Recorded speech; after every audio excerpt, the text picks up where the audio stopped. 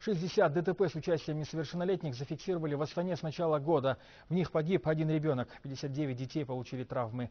Такие нерадостные цифры озвучили в столичном ДВД. Чтобы предотвратить такие аварии, стражи порядка в течение двух недель будут проводить акцию «Внимание, дети!». Они проверят работу светофоров возле школ и детских садов и будут патрулировать эту территорию. Также детям раздадут светоотражающие ленты и шевроны, чтобы маленькие пешеходы были заметны на дороге в темное время суток. Ну и кроме этого, полицейские проведут занятия со школьниками и навестят пострадавших пострадавших в ДТП детей в больницах. Эти занятия осуществляются школ перед началом учебного года, на которых детям э, еще раз напомнят о правилах дорожного движения и о необходимости их соблюдения. Э, родителей, чьи дети нарушат правила дорожного движения, мы будем привлекать э, к административной ответственности.